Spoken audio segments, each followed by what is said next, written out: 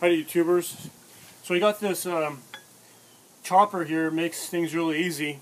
Rather than swinging an axe and trying to hit it in the same exact spot, or using a single splitter, it's a lot more precise. Gives you a great workout at the same time I'm going to show you guys. Okay, so what you do is just simply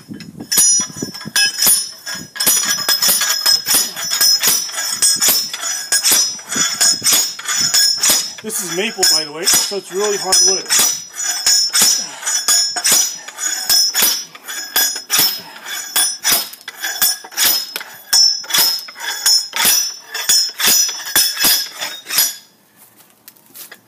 There you go. See that? Let me chop one more down this way.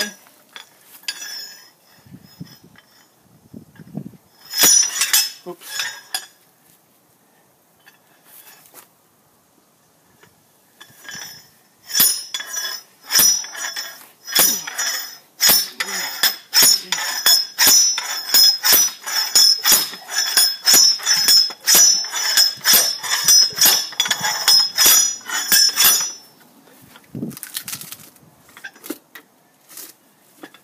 Alright, anyways, I'm going to do this one right here.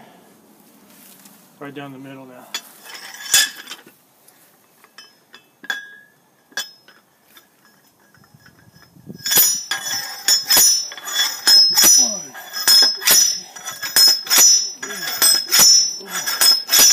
There you go.